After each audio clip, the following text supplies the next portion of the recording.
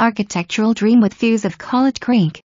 Privately situated on 10.37 waterfront acreage in the Conservancy, this beautiful home has 5795 square feet of living space, pier and floating dock on College Creek with impeccable attention to space and design.